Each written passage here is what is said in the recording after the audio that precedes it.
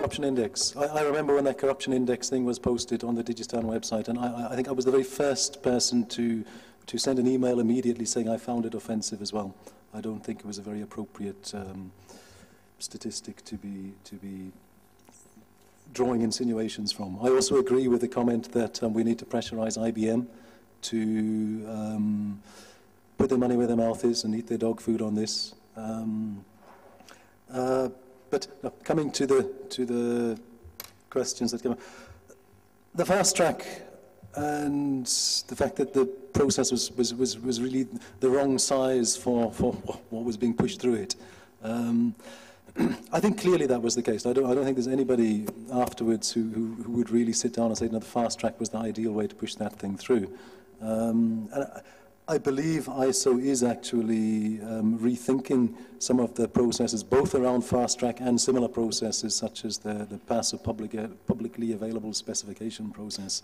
But I think one of the points that was really a cause of concern for me was that when, I don't know people understand the way the fast track works, but, but ECMA, which is, a, which is a consortium. Because ECMA enjoys a special status within ISO, a category A status. If a standard has been developed by ECMA, then they are, are automatically given the right to, to, to put that standard into what is known as this fast track process. The first step in that fast track process is the step to decide whether the process is appropriate for uh, this standards um, procedure. And I know certainly within South Africa we were being told we were not allowed at that point to prevent it progressing any further. I think that though the rules within ISO were perhaps not the best in the world, some of the rules that were there and are there weren't actually properly followed in this particular case. And in fact, that is why, there's one of the main grounds in which South Africa objected the process in the end. Um, in terms of how, how to effect reforms, I mean, it's all easy enough to sit here and reflect on, on um, um, uh, reforming the system. How to set about doing it? I think to a large extent, it's got to be a, a, a um, issue of national reflection in different countries. I think certainly within South Africa, there's a lot of work that we can and should be doing, working with our own South African Bureau of Standards to work together on improving processes within SABS. And, and also um, working through SABS to, to um, get our voice heard within the ISO. I don't think, unfortunately, the ISO as it's currently constituted lends itself very well to, to voices coming from outside of those national bodies. And I think that's perhaps one of the problems of legitimacy that we're seeing now in the organization. Because if, if um, national bodies have such a, a, a, diversity of legitimacy themselves, um, it's not always easy to see how those national bodies can always represent the interests of a country within, within the ISO. So, yeah, fundamentally, I think anyone looking to seriously reform the ISO system has to start nationally. Um, Bob, I'll, I'll just ask you to maybe wrap your response up to that one there, and, yep. and maybe you want to respond to the Shuttleworth Foundation. That was the, that was the Shuttleworth yeah. Foundation. Okay. The, the, the, the uh, last question was on was on standards bodies and adoption. Which perhaps uh, you might answer. Sorry, I was just a bit distracted. Um, we've got approximately 10 minutes left. Um, so uh, there's, there's, two things we could do. We could uh, give the panel a chance to uh, give final comments, or we could work a bit on recommendations that might come out of um, this particular session. Um, so we've written some of the things that have already been said. Um, we have had uh, lower the barriers to entry, remote participation, um, one vote per organization as a suggestion, uh, a consistent IPR policy, uh, policy royalty-free and open process. Um, and below that, we've got uh, uh, the recommendations that we've had from Bob. So we could spend the next 10 minutes asking each panelist to um, to wrap up, or maybe we could have a discussion around the recommendations um, that have been made. Yeah, what I would actually quite like to do is, is, is to ask a question of, of the audience. Um, uh, we've heard some input from IBM, obviously. We've heard some input from Microsoft. We've heard some input from W3C. Are there, are there any other representatives here from, say, ITU or IETF um, who might want to make a comment um, on this? Okay, we have uh, two representatives.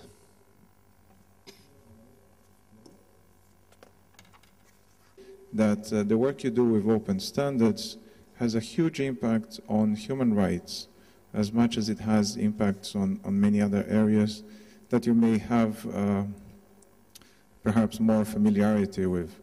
Um, just to give you an example, uh, in the 1990s, uh, when we had situations where companies were not uh, willing to develop software that was accept, uh, accessible, uh, open communication protocols in, in, email allowed me and many other people with disabilities to actually choose alternatives that were open and, and accessible, uh, uh, meaning the client software.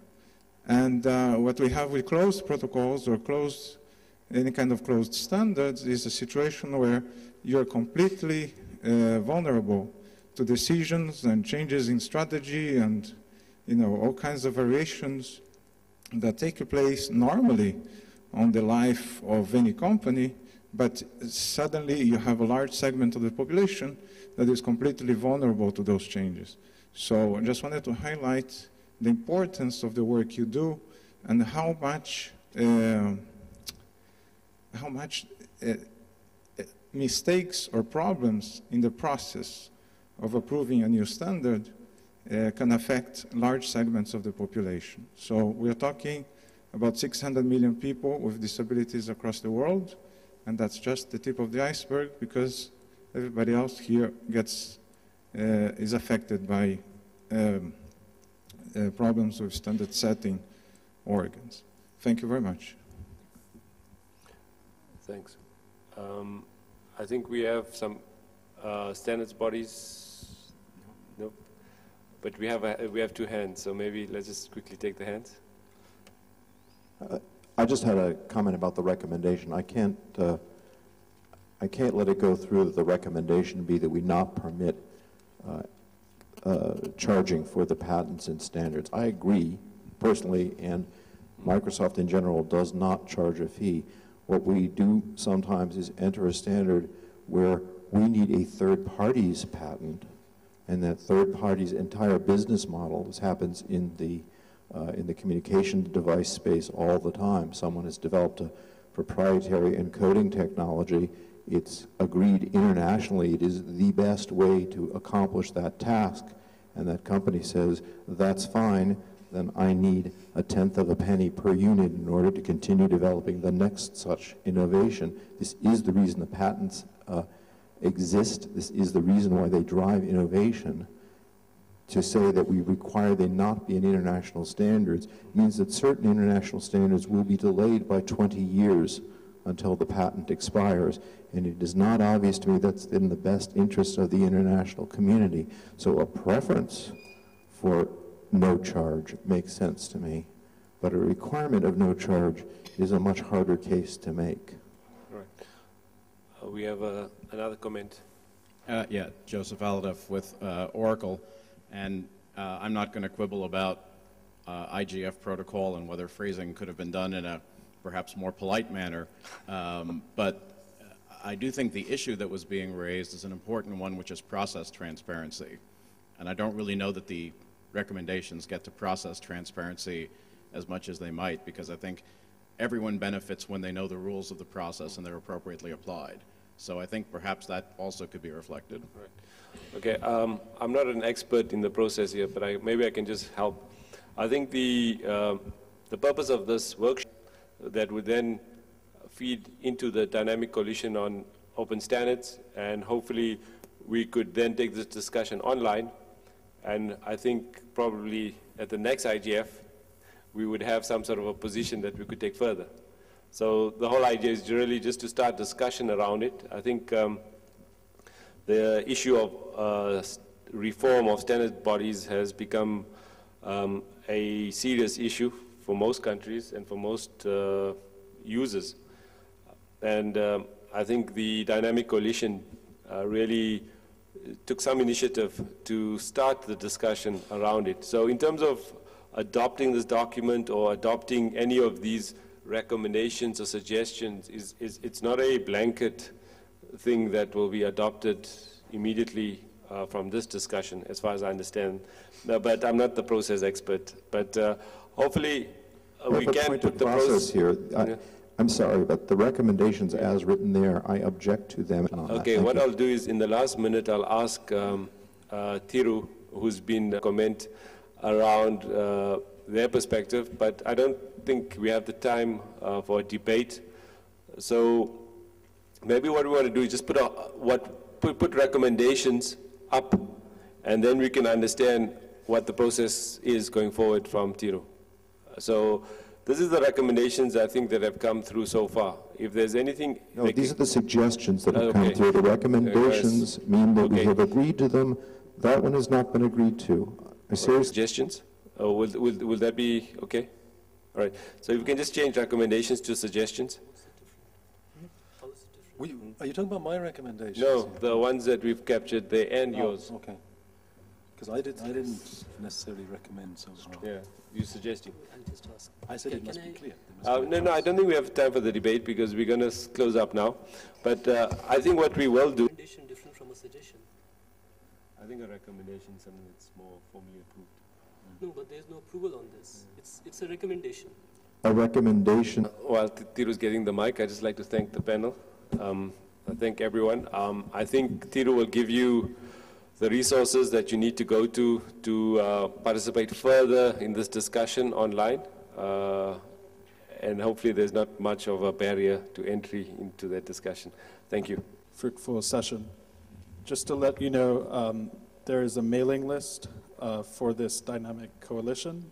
Um, I'll get it to you uh, soon, but just for the record, if you're interested in signing on to it, um, you could email me, and my email address, uh, I'll give it very slowly, is T H I R U Can you type that? at uh, keionline.org, and I'll be happy to send you offline the uh, address for this dynamic coalition. And um, as Aslam said, these uh, suggestions are some this uh, group will discuss um, offline over the next year. And just as a reminder, um, Yesterday, there was a clarification from somebody who works at the IGF uh, Secretariat as to what exactly are dynamic coalitions. And just, it, they basically emanated, nobody actually can pinpoint the origins of them, but they just emanated just before or at the first IGF in Athens. And uh, to quote uh, Nitin Desai, um, dynamic coalitions are an, just uh, an association of like-minded groups who agree to do something. That's what it is. Okay, I hope that's clear.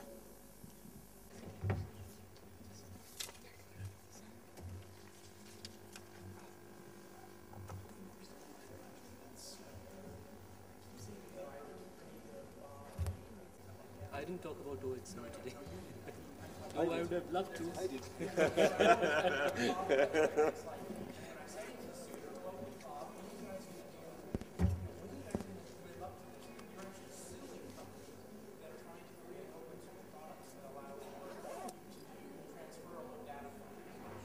to what we are talking about.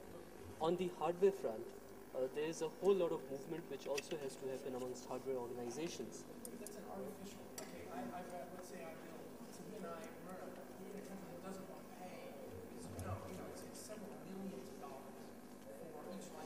ones that